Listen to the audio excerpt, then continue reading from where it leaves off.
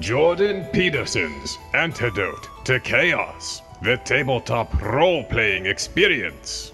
The kingdom of masculinity is under assault by the forces of matriarchy and Marxism. A party of champions must embark on a quest to recover the orb of enforced monogamy. Your enemies will be merciless and cunning, and they have many terrible weapons.